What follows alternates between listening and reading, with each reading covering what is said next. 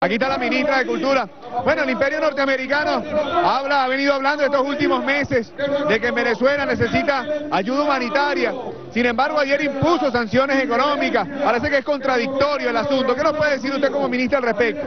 Mira, aquí está un pueblo en resistencia, pero un pueblo feliz, que se niega a perder su identidad, su soberanía.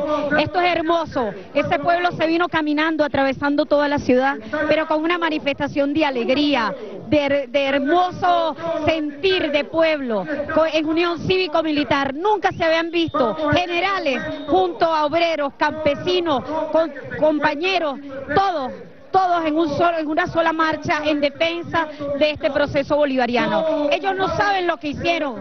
Lo que hicieron fue activar la dignidad de un pueblo que se niega a entregar los logros de esta revolución. Así que estamos en una gran fiesta, pero preparándonos siempre para la guerra. Muchísimas gracias a la ministra.